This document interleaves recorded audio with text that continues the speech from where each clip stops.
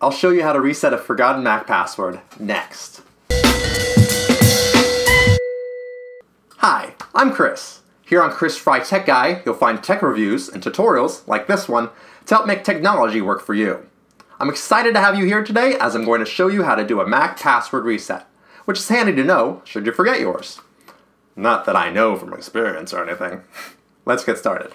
Restart your computer and hold Command and R keys. When the Apple logo appears on the screen, you can release them.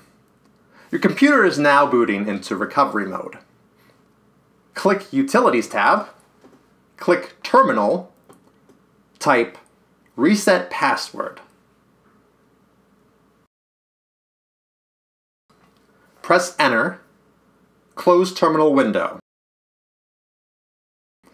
Select User and Password Reset Utility.